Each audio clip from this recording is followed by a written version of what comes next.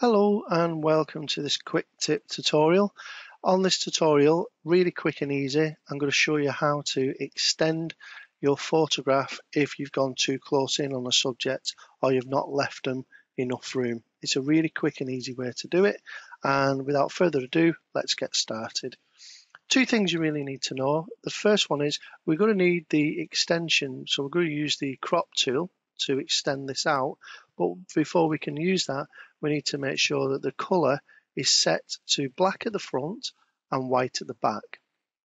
Then what we do is, once that's set, go to the crop tool, which is on the left hand side, making sure that the crop tool is selected, or otherwise by pressing the letter C, that'll help you, quick way. Then just extend it to where you want it to go. In this case, that'll do for this tutorial. So you go down there, click the little tick at the top and that will crop the image to where you want the extension to go. Once you've done that, go back over to the tabs, find your magic wand. It's either under your quick selection or pressing W will select it as well. If the W select uh, quick selection, press it again and it will go down to magic wand.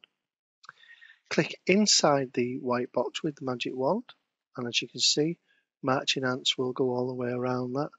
You don't need the refine edge for this. And then you just go to edit and fill, making sure that the content is set to content aware, the blending mode is set to normal, and the opacity is 100%. Click OK. And as you can see, it's picked up. Now there will be some discrepancies in that, so I'm going to select and deselect. And as you can see now, you've got three mounds that's here, which has picked up this. And you've got two of the same there, two of the same there.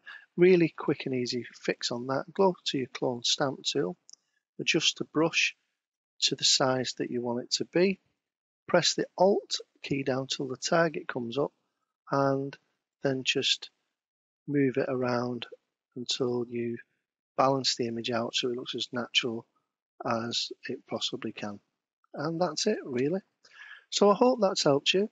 Until next time, thanks for watching. Bye for now.